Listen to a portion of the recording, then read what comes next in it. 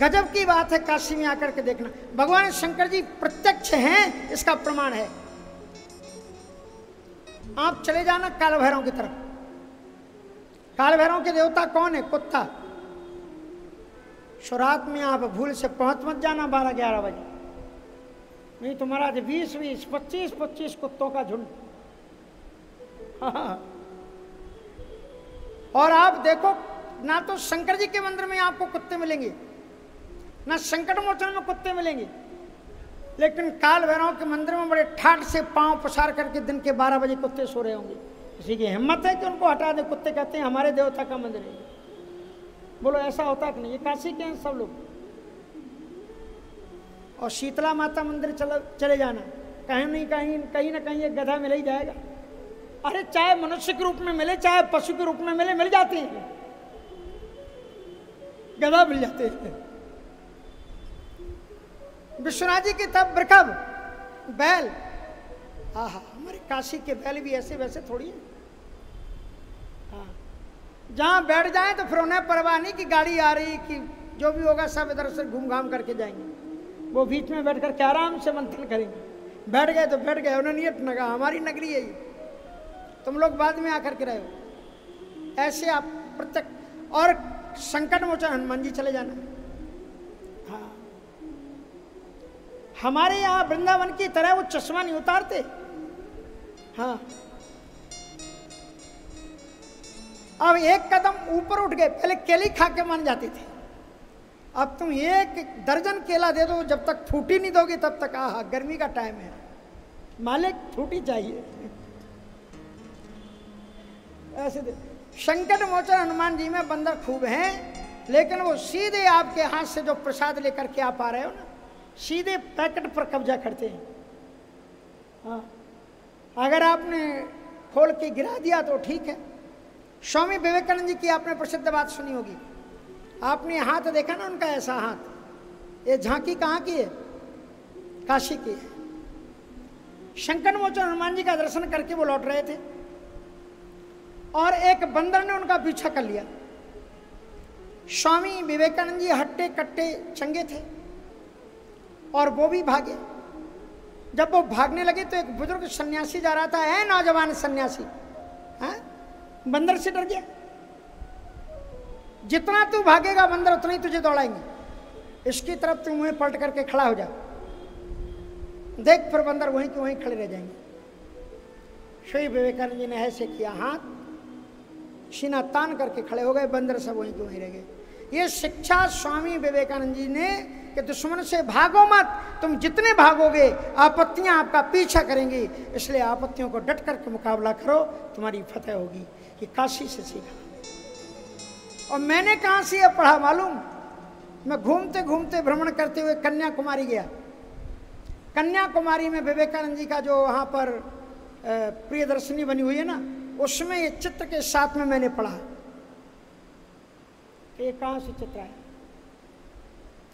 कुल मिलाकर के बात यह है कि काशी में जो लोग पहले जाते थे वो अपने रहने के लिए मंदिर बनाते थे घर बनाते थे और घर में एक छोटे से शिवलिंग बनाते थे। इसलिए काशी की गलियाँ बड़ी प्रसिद्ध हैं। और काशी भी दो है एक शिव काशी एक विष्णु काशी। जो दशाश्वमेध घाट है ए, आपका आजकल उसका नाम दूसरा हो गया ग्वालियर के कौन सिंधिया घाट। सिंधिया घाट से इधर का जो घाट है, इधर जो काशी है, वो शिव काशी है। और सिंधिया घाट से उधर की जो काशी है, वो काशी विष्णु काशी है। इधर के देवता भोलेनाथ जी हैं और उधर के देवता बिंदु माधव भगवान है।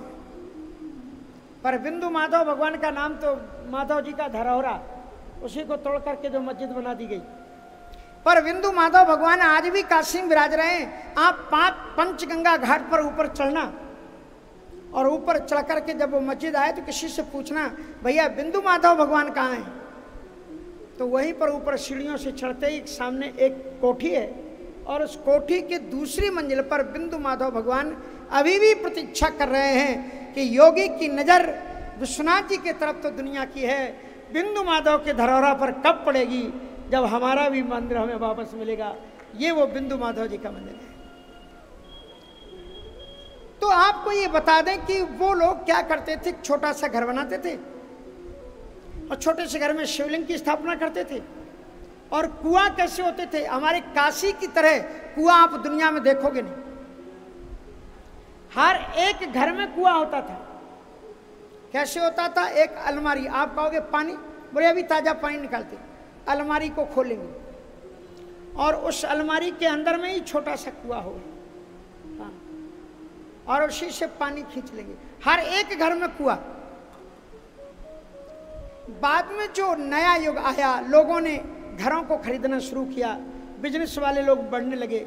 अब ऐसे धर्मपरायण मंदिरों को जब वो खरीदते हैं तो सोचते हैं, शंकर जी को हम रखेंगे तो पूजा करनी पड़ेगी। सो आधी रात में शंकर जी के शिवलिंग को उखाड़ा और गंगा जी के किनारे चले आए। काशी में वो लोग अभी भी भूत हैं। हाँ। काशी भूत नगरी है।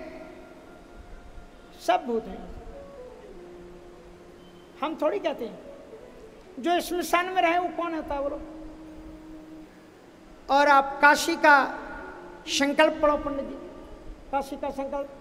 ओम विष्णु विष्णु विष्णु राज्ञा प्रवर्तमान सद्य ब्रह्मणोन्नी द्वितीय प्रार्दे श्री श्वेत पाराय कल्पे। वैवस्वत मनमंत्रे अष्टाविंशतमे कलयुगे कलि प्रथम चरणे जम्मूदीपे वर्तखंडे आर्यावर्त देश क्या है? काशी त्रिकंटक विराजते। महाश्मशाने, भागीरथ्या पश्चिम तटे।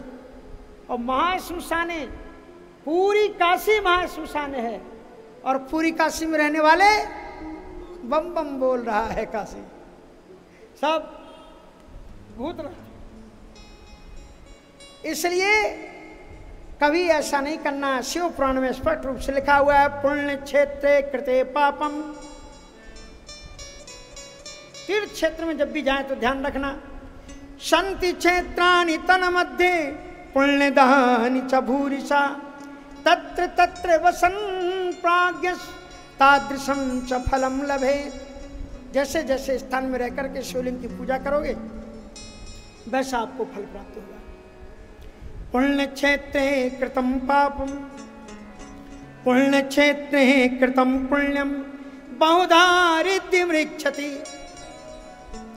यदि आप मथुरा जैसी नगरी में बैठ करके शिव पुराण को सुनोगे तो बहुधा रिद्धि मृक्षति आपके पुण्य नित्य निरंतर बढ़ते जाएँगे बढ़ते जाएँगे बढ़ते जाएँगे।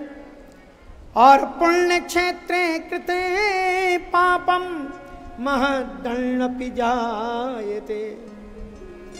पुण्य क्षेत्र में किया हुआ थोड़ा सा भी पाप महत अण्णपि जायते। विशाल रूप धारण कर लेता है। इसलिए तीर्थ में निवास करते हुए बड़ा ध्यान रखना